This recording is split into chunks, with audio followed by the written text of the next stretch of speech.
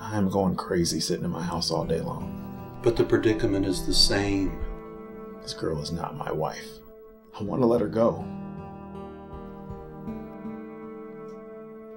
Now, you know, I need this. Are you sure you want to do this? I asked for it, didn't I? Oh!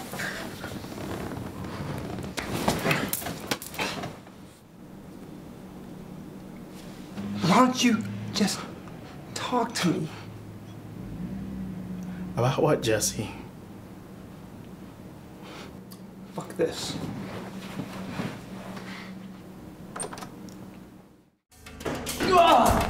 Where is he? Sick fuck! Where is he? I don't know what you're talking about. I'm only gonna ask you this one more time. Where is she? You tell say nothing, I'll leave you here to die. Do you understand? Where is she? Hey, Lindsay, it's uh, it's me, Spencer. What do you need? Uh, can you come by and get the rest of Noah's stuff? I uh, I still have his gift. Uh, What time do you want us to be there? Uh, later in the afternoon. Of course, that shouldn't be a problem. Spencer, take care of yourself, okay? I'm so sorry about how things turned out.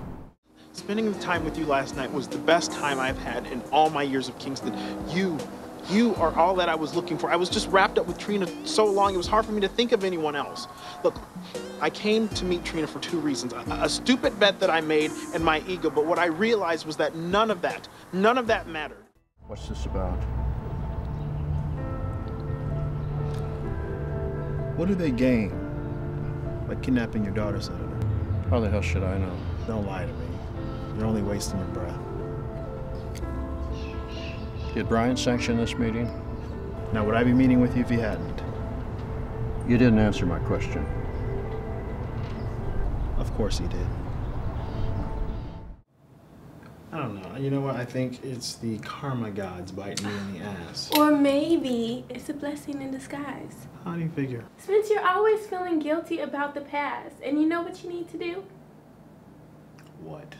Let it go and move on. Do it. Fine. All right. Give me my money. Uh-uh, don't start with me. Give me my money. Don't start. You gotta roll up out of here. I just want to see you happy. Me too. You kidding me?